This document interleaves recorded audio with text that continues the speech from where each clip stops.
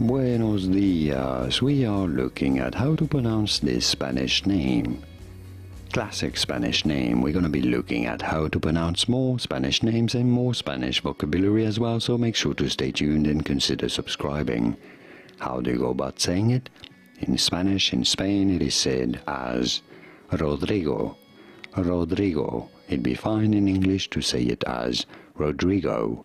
Rodrigo from Spanish Rodrigo. And now you know. Did you get this? Was this any helpful? Let me know in the comments and by using the like button. Thanks for your support.